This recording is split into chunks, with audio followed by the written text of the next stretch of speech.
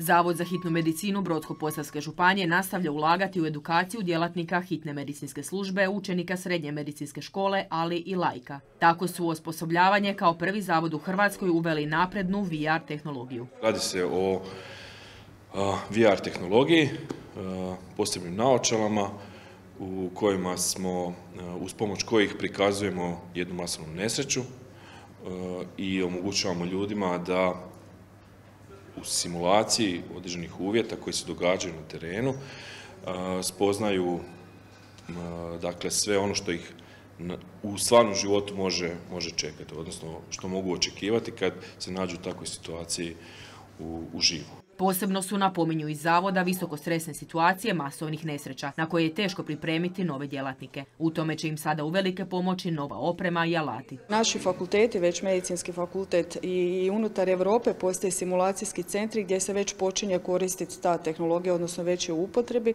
a mi smo htjeli zapravo to i upotrebiti u našem svakodnevnom edukacijskom radu, da tim našim djelatnicima, jer zapravo tu situaciju masovne nesreće oni praktički nigdje ne uče, a mi smo ti koji možemo to pokazati, što svojim iskustvom im pomoć, a onda to iskustvo kroz ovaj VR prikaz im približiti. VR prikaz nastao je na temelju stvarne vježbe. Mi smo snimili znači, vježbu koja je bila prošle godine u Staroj Gradiški kad se obilježavao dan hitne medicinske službe gdje je sudjelovalo negdje oko 120 ljudi.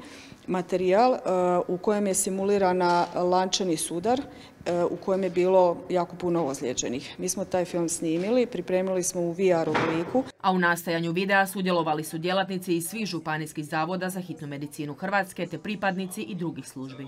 Nama su recimo konkretno pomogli i e, druge žurne službe i policajci i vatrogasci, a pored toga pomogao nam i Crveni križ jer je on te modele, znači dobrovoljce koji su došli i koji su bili ajmo reći pacijenti, oni su ih šminkali. Po našom nalogu, onako kakve ozljede smo mi htjeli zapravo da oni imaju, da približimo našim timovima e, nekakvu situaciju velike nesreće. Sve napominje s jednim glavnim ciljem. Da naši e, djelatnici kad su izloženi stresu mogu napraviti trijažu e, u što realno je zapravo situacija. Znači mi želimo približiti tu situaciju realnim događajima. Riječ je o internom projektu Zavoda Brodsko-Posavske županije. Sad ćemo već na prvom sljedećem tečaju cijelu priču pustiti u pogon e, i onda ćemo i sami procijeniti da vidimo kako ljudi reagiraju. A iz zavoda pozivaju i na sutrašnje obilježavanje nacionalnog dana hitne medicinske službe. Mi ćemo kao i svi zavodi u,